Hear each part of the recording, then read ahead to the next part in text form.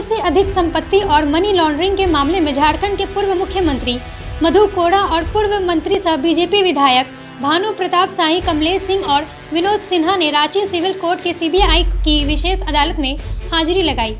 आय से अधिक संपत्ति और मनी लॉन्ड्रिंग के मामले में सीबीआई के विशेष न्यायाधीश प्रभात कुमार शर्मा की अदालत में उपस्थित हुए। मामले में गवाही होनी थी, लेकिन गवाह के अभाव में अदालत में गवाही नहीं हो सकी। देखिए, आज माननीय न्यायालय में दो तरह के मामले तारीख लगी हुई थी। E C R two zero नौ का था।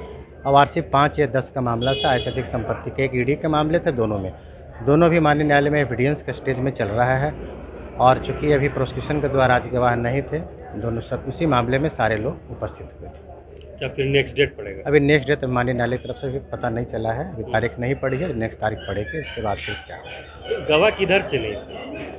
अभी तो प्रोसिक्यूशन को ही गवाह लाना है। अभी प्रोसिक्यूशन की ही गवाही चल रही है। प्रोसिक्यूशन की तरफ़ से गवाह आने के बाद फिर उसका स्टेज हम लोगों पर बयान होगा। बयान के बाद फिर हम लोगों को गवाह मनी लॉन्ड्रिंग के मामले का जहाँ तक है कि कंप्लेन वाइज है कंप्लेन में कितने कितने अलग अलग भी लगाए गए हैं, कितने पर जो आया है तो वो अलग अलग कंप्लेन देखने पर पता चलेगा कितना कितना